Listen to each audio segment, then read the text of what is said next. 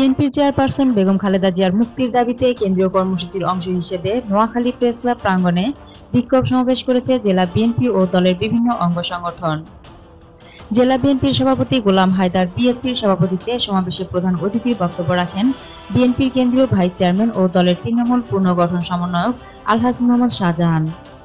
এতে উপস্থিত ছিলেন কেন্দ্রীয় নির্বাহী কমিটির সদস্য বেগমগঞ্জ উপজেলা চেয়ারম্যান অ্যাডভোকেট আব্দুর রহিম জেলা বিএনপির সাধারণ সম্পাদক অ্যাডভোকেট আব্দুর রহমান, সাংগঠনিক সম্পাদক শহীদুল ইসলাম কিরণ, পৌর বিএনপির সভাপতি আবু নাসের, উপজেলা বিএনপি সভাপতি সলিমুল্লাহ বাহার হিরণ, জেলা যুবদল সাধারণ সম্পাদক কামাখ্যা চন্দ্র দাস প্রমুখ। মোহাম্মদ শাহজাহান বলেন, সরকার নিম্ন আদালতকে যেভাবে নিয়ন্ত্রণ করছে, হাইকোর্টকে সেভাবে নিয়ন্ত্রণ করলে বিএনপির আন্দোলন তখন আর শান্তিপূর্ণ থাকবে না। নোয়াখালী থেকে মোজামেল হোসেন কামালের পাঠানো তথ্যচিত্রে একাত্তর বাংলা নিউজ ডেস্ক।